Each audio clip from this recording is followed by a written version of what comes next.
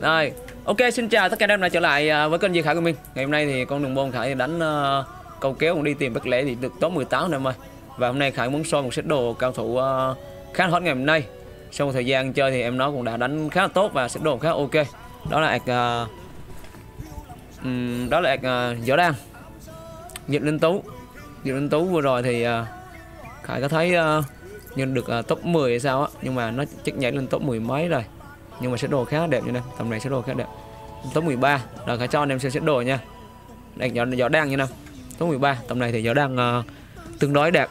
Đang sở hữu cho mình là một kháng tất cả mạch nạ nó một trang sức kháng cảnh năm là hai cá là 10 kèm với set định quất khá đẹp anh em à set định quất uh, ờ, cực phẩm định quất 30 áo định quất cực phẩm 50 200 đai lưng thì ấn độc 77 sinh lực 13 bao tay 543 sinh lực và đôi giày à, làm trọng bao à, tay uh, sẽ đi đôi giày tóc 40 sinh lực 140 174 thì với xác định quất này thì à, đi kèm với là những trang bị uh, trang sức như là một cái chuyền khá đẹp kháng cả 17 kháng họ 15 chón 20 sinh lực 103 nội lực và kèm với sinh khí 17 gia chiên này thì sự là quá binh dành cho giờ đang ở tầm thời điểm hiện tại này rồi.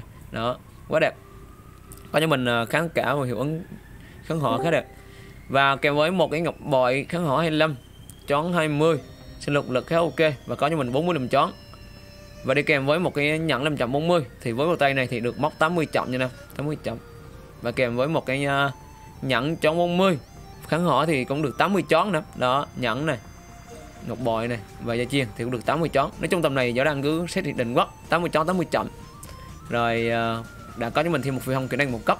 Thiệt này với à, này với cây lôi sắc nội công 154 thiệt này lực tay đỡ mình nói không nhầm thì lực tay nó còn hơn uh, 4 k hơn đây 4 k hơn ấy mà trước hẳn cầm nhỏ đang thì với một phi phong nữa thì lực tay lên khá đều. Đó. À, đang chạy còn chiếu dạ sẽ đồ nhỏ đang hạng 54 khá là đẹp nha năm đó. Định quất cực phẩm. Ngọc áo cực phẩm. Đai định quất thường bao tay định quất thường giày định quất thường và kèm với những món đồ khá là pin nhẫn 540 sinh lực thì hơi thấp thôi. Còn lại món này thì sinh lực thực sự là không không thể chơi được nè gió đa mà cứ pin sinh lực như thế này quá ok. Đó. Rồi anh em xem video này đừng quên đỡ lại cho cao thủ uh, Diệp Linh Tú thì em một like chia sẻ ủng hộ chơi em ơi cũng như là ủng hộ video uh, sau đồ của Khảo một like chia sẻ ủng hộ chơi nhé ok.